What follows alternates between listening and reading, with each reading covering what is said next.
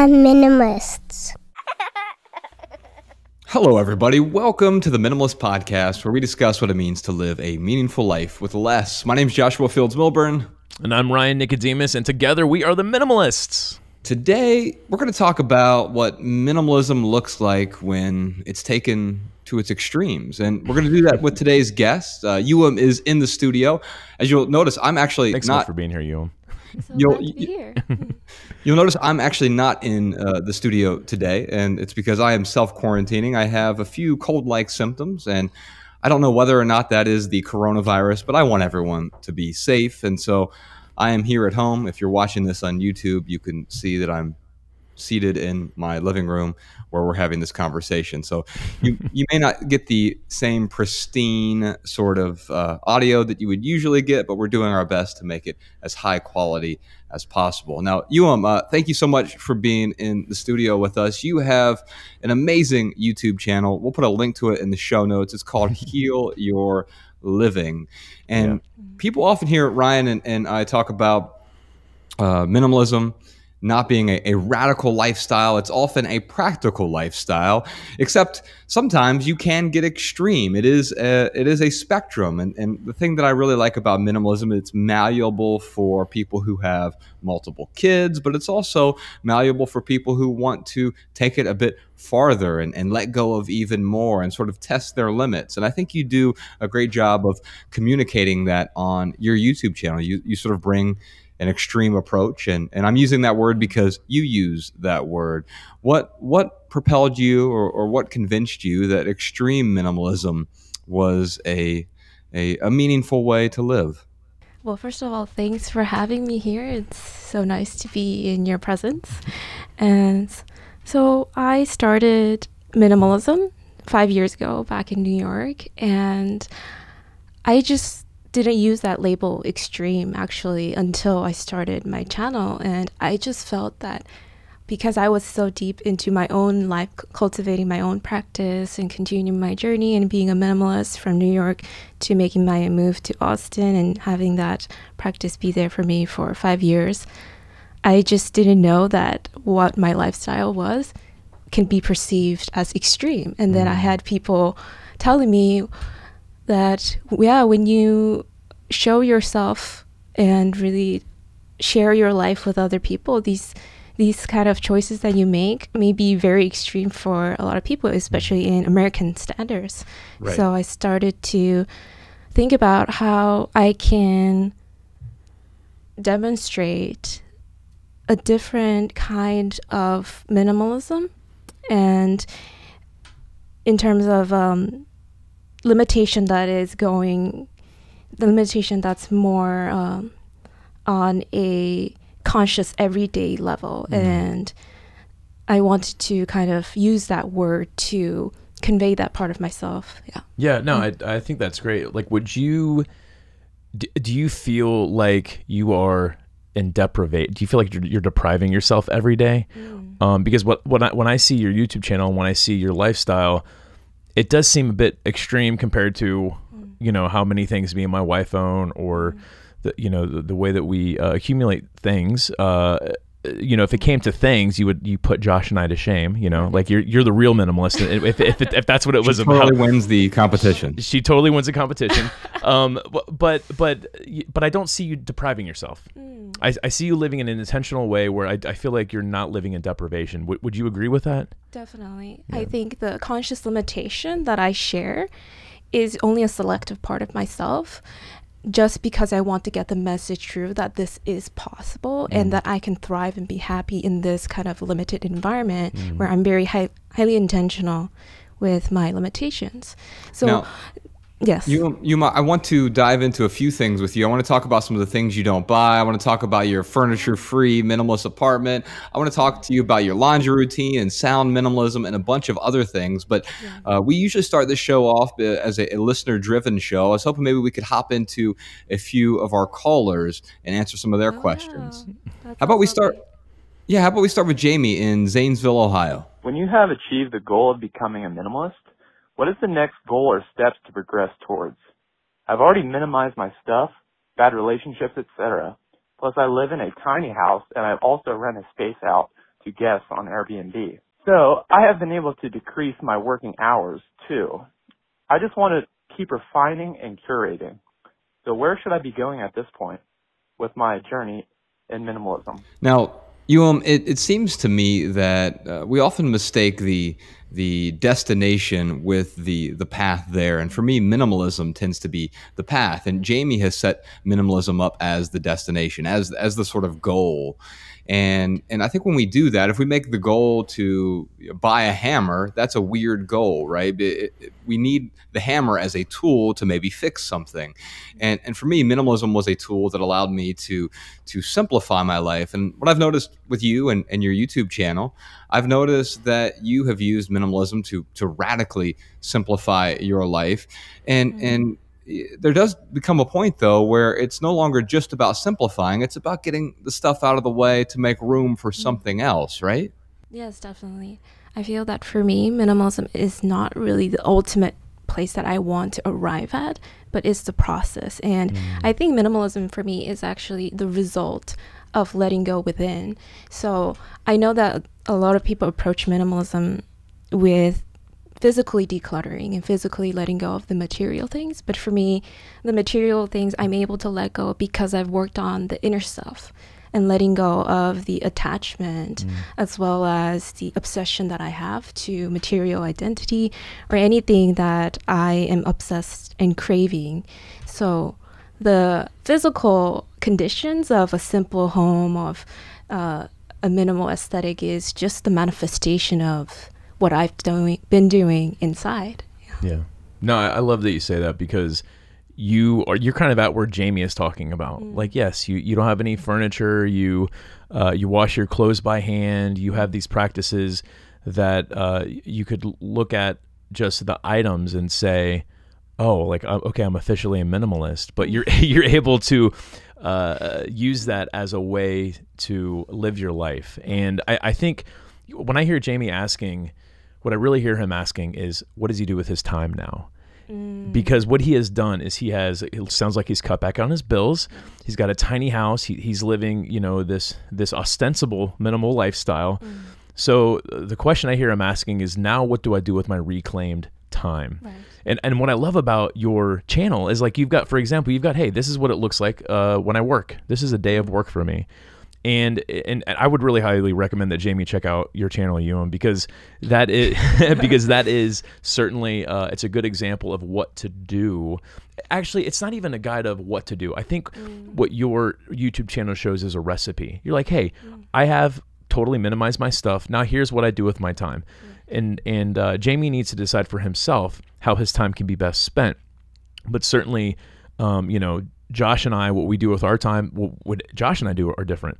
What you do is different. And and I think the hardest part about when you have reclaimed your time, it is figuring out like, oh no, now I've got to be by myself. What do I do now? Mm. Right. And, that, and, uh, yeah. and Ryan, what I would say there is get really clear on what your values are because each of us might value different things, even though we we approach life with the, the sort of minimal lens or the minimalist lens and, and, we're simplifying things but then once we're making room for something important we need to figure out what we value. And so jamie i'm going to recommend uh, we actually have a free values worksheet on our website. Uh, there's an essay there called how to understand your values and you can download that values worksheet and really get clear on the different types of values. You know we, we have these sort of foundational values, then we have the structural values, we have the surface values, and we have uh, the imaginary values, which are quite often the things that we thought were important in life, but mm-hmm. minimalism helps us let go of those things that are imaginary, the the things that are in the way, so we can focus on what we actually value. And I'll tell you, Jamie, you can never go wrong with contributing. It's like my whole goal with what Josh and I do is I want people to feel like they have enough. A, because there's a sense of security when you realize, like, oh, I do have enough, and, and you can kind of uh, deal with those impulses and deal with that constant wanting because that's the society we live in. It is like this constant state of wanting. I mean, look at the panic buying that's happening right now. It's like people feel like they have to uh, accumulate in order to stay safe. And what mm-hmm. Josh and I and you, you, and what we're trying to explain to people is like, yes, you do need some things, but it might not be as much as you need. And when people feel like they have enough, that is when they start to look externally. I think you can totally give, uh, even though you know maybe you're in this state of wanting or, or maybe you're you, you, know you're someone who's very poor like i think it's it's still it's still totally possible to give. However i think when we feel like we have enough it's it makes us feel like it's easier to mm-hmm. give so uh, jamie you can never go wrong with contributing your time to, to helping out your community and to, to helping out society well, our next question is from Tracy in West Lafayette, Indiana. I have heard you talk about your ki- about your kitchen, excuse me, and how you would be even more of a minimalist in the kitchen if you lived alone. I was curious what you eat and if you could give some insight on your minimalist way of life in the kitchen. All right, so yes, I have said this in the past. That I mean, right now, if you're actually looking at the video version of this, you can see my living room. It is relatively sparse. But if you go into my kitchen, uh, my wife is a dietitian and a nutritionist, and she requires more instruments than I might require, more tools than I might require if I were living on. She likes to cook. Own. So yeah, she's got all the cooking devices. Yeah. you know, Ryan, it's funny you say that. I think that um, I've rarely had a need for a kitchen at all in, in the past when I was living on my own. Um, Dude, when you and I were living together, all we needed was the the rice cooker. Even yeah, we, we were in the cabin in the middle of nowhere. Yeah, dude. I mean, that we literally could have went without a stove and just used the rice cooker, and we would have been okay. I don't know that we ever even turned the stove on. yeah, I can't. I but, can't think if we have.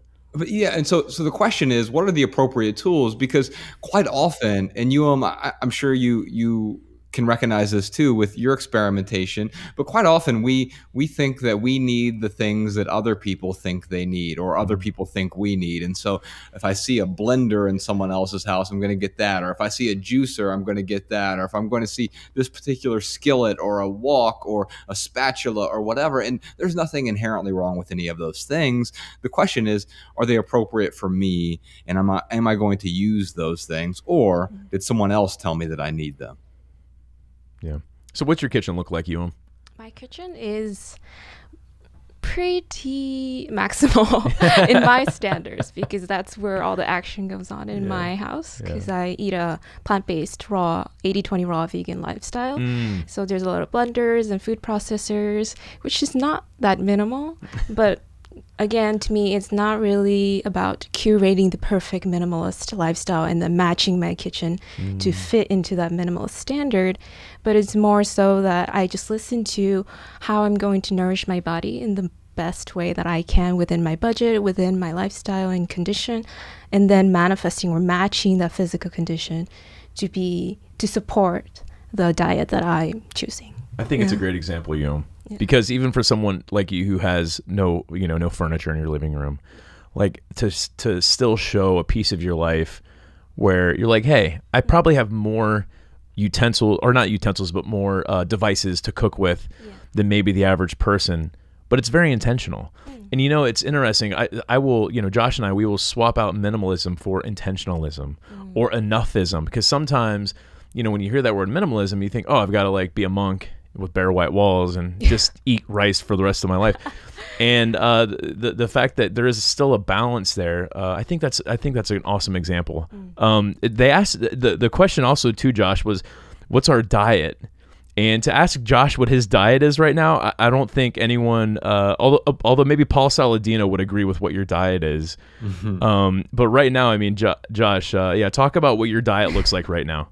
Yeah, well, my, my diet has to do with I have a lot of dietary restrictions just based on you know the the ulcers that I have in my small intestine, and so um, it radically limits what I'm able to eat. And unfortunately, I'm not able to eat you know many plants or much fiber right now, mm. and and so I have I have an extremely limited diet but that one is out of necessity, right? And and so mm-hmm. sometimes it's about intention uh, with respect to the things we remove from our life because we think it will serve us better. But sometimes we have to we have to remove things out of necessity, and I think that's the an, an important distinction to make because you um you might have quite a few things in your kitchen, probably not relative to the average American household, but relative to your living room. Now, but if I were to swap out your your blender for a couch, that would actually that that that would not serve a purpose. In fact, it would get in the way of what you're trying to accomplish with with your own lifestyle. And so, uh, us trying to live like someone else because someone else has a couch or someone else has a blender. The question then is, what is appropriate for my life so that uh, I can live a, a practical life with less stuff? And, and quite often, I think that involves simplifying.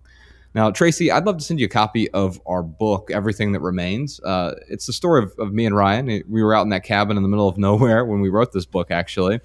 And, and it's a story of us being these suit and tie corporate guys having way, way, way too much stuff, but then sort of radically simplifying our lives to find and live a more practical life. And even Ryan's and my version of minimalism might be extreme for some people, but what we try to show in that book is it's actually a much more practical lifestyle than you might suspect. By getting rid of the excess, we're able to really figure out and then focus on what's truly important. So, Tracy, if you like our podcast, you'll like the audiobook version of Everything That Remains, or if you want the book book or the ebook version, I'd be happy to send those to you as well. Ryan, what Josh, time is it? Josh, I think you just came up with a really good reality show idea. I think that? it's going to be called "Would You Rather Have a Couch."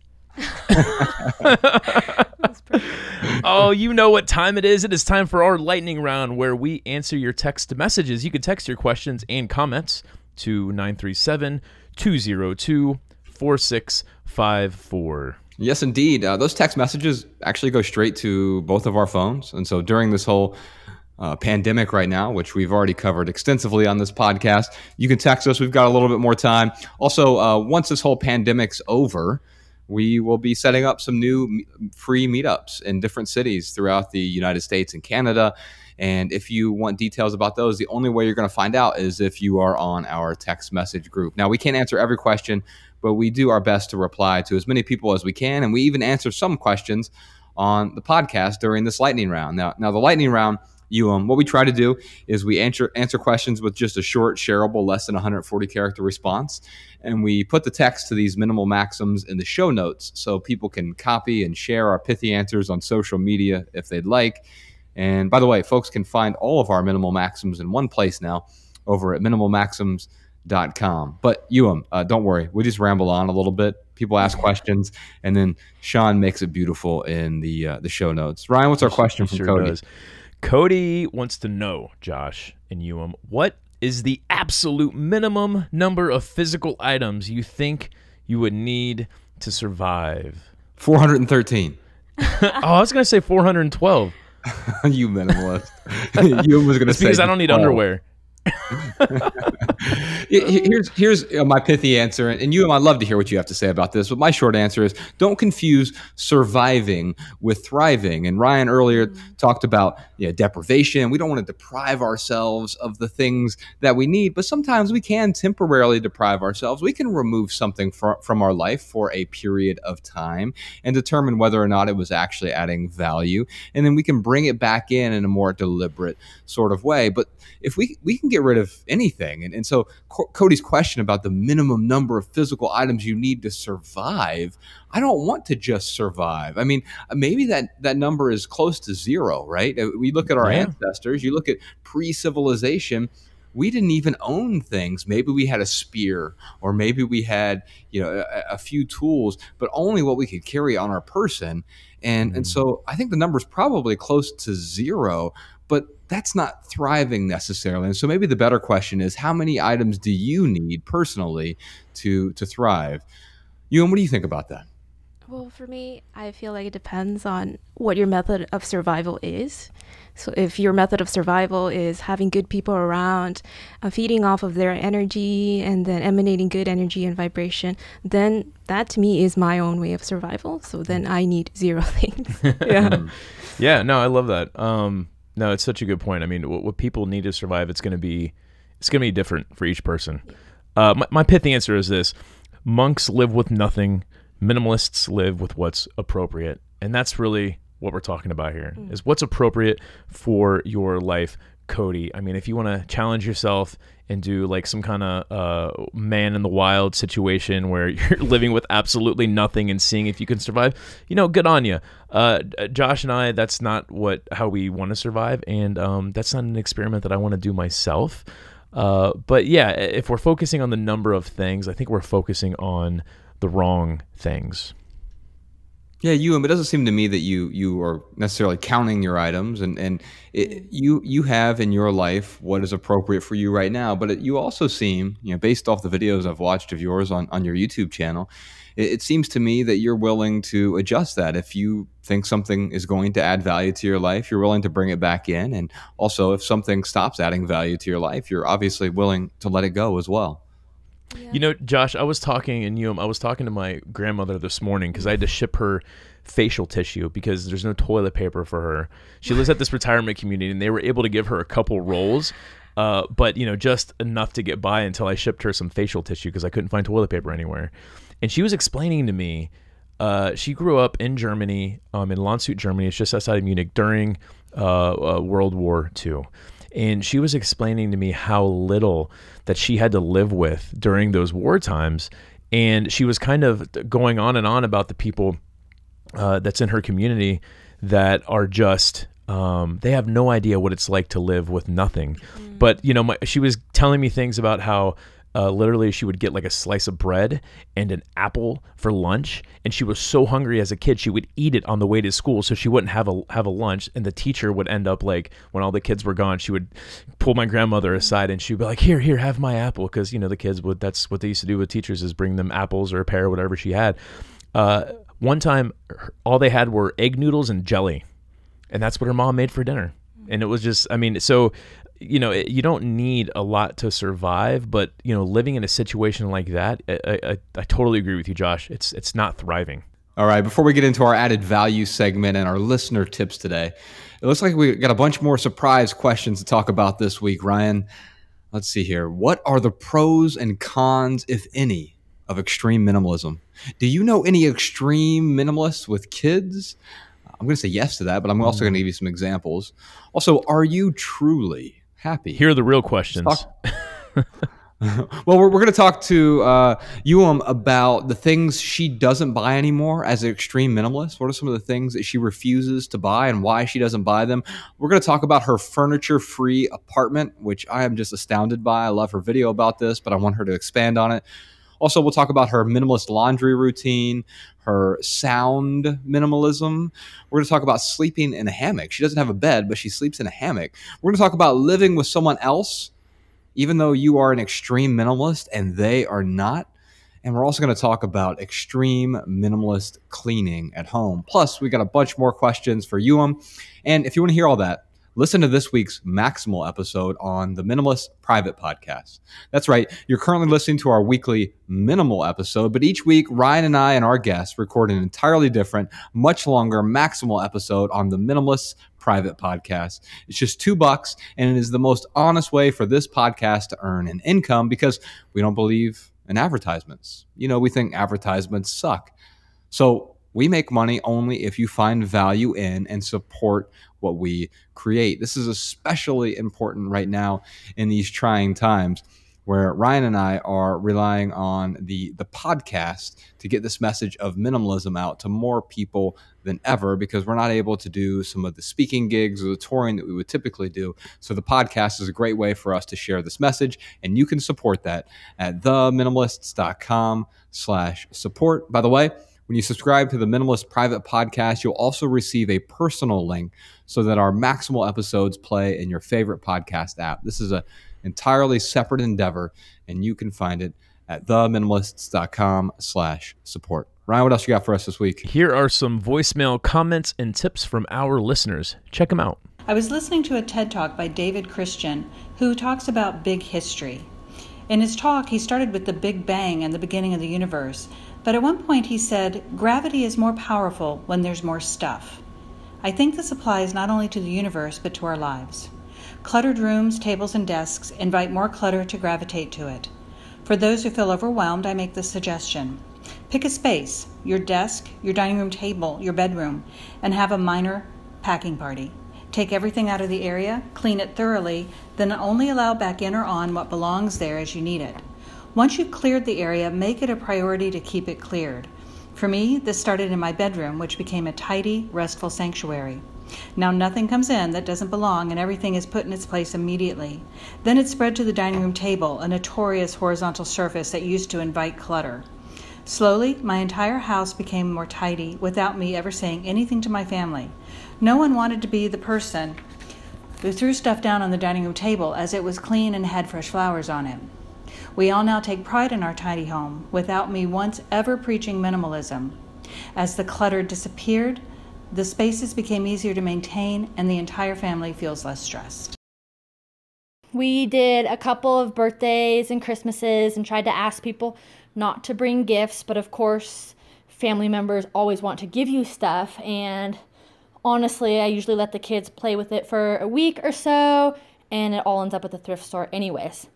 So, this last year, we decided to start adopting animals, and we have an animal ark that is just outside of Reno that rescues and rehabilitates um, wild animals and animals that have been raised in captivity and whatnot but you can donate to them. You can pick which animal you want to adopt and you can donate to them throughout the year. So we adopted a wolf, and at any of our kids' birthdays, we now put on the invitation that if they'd like to bring a present, if they'd like to donate money to the wolf, they can. We also adopted an elephant. I think we actually just fed the elephant for a day. Um, from the elephant sanctuary, which is located in Tennessee. We adopted an elephant for my mom for Christmas a couple years ago. So now, since she loves elephants, she gets a monthly email newsletter about how her elephant is doing, and she really loves that. So that could be a great way to get people involved. They feel happy giving you something, and then they can continue to follow that animal online. All right, y'all. Thanks again to Youheum for joining us today. Please check out her YouTube channel. We'll put a link to that in the show notes. I think you're really going to enjoy her videos. She has a lot of them, and you can really appreciate the aesthetic side of extreme minimalism, but then go way beyond the aesthetics to the sort of inner peace that she helps people create. And real quick, for right here, right now, here is one thing that's going on in the life of the minimalists. We're back to vlogging uh, over on YouTube. Uh, you can check out our new vlog. It's called A Meaningful Life, episode number three. Ryan, you and I, and, and podcast Sean and Jordan No More, we just went out to Utah last month and we captured a bunch of, bunch of footage of us roaming around Utah in the winter. We went to a jazz game, but also most important, we finished the soundtrack to our next film, Less Is Now. And we were down there with Nate Pfeiffer and the folks from We, which is the band that they created just for our first film. And now they're, they've come back together to do the soundtrack for our second film. And you can check out our vlog from our entire journey over to Utah. We also did an unscripted Utah meetup where we just sent a text message out to our text message group. By the way, you can join us for any of our future unscripted events, just send us a text message to get added to our list. 937-202-4654. If you do that, you also get our Monday morning minimal maxims. Every Monday, we start your week off with just a pithy phrase to help inspire you for the week. Over on our YouTube channel, though, check out episode three of A Meaningful Life. It is our newest vlog of us exploring Utah and uh, trying to live a meaningful life while we travel. You can follow The Minimalists on Facebook, Twitter, and Instagram at The Minimalists. If you have a question, comment, or minimalism tip for our podcast, just email a voice memo to podcast at theminimalists.com. You can comment on this episode at youtube.com slash the minimalist. And if you want our show notes in your inbox, sign up for our email list over at theminimalists.com right there at the top. You also receive our simple Sunday emails each week, some new writings about minimalism never junk, never spam, never advertisements because we don't believe in any, any of those things. Now, Ryan, for our added value this week, have you heard Jay Electronica's new album? I have not. I'll have to check it. I've never even heard of Jay Electronica. Well, here's the thing. Back in like 2009, he he was sort of touted as the next big thing, the next Jay Z or Nas. Mm. And then for 11 years, he never put out an album. He had a couple, like just Lucy's songs that were out, but nothing that was a full body of work. Uh, he had this amazing song back in 2009 called Exhibit C, uh, which was just this, um, I mean, this ex- exceptional expression of penmanship and lyricism. What an amazing song it was.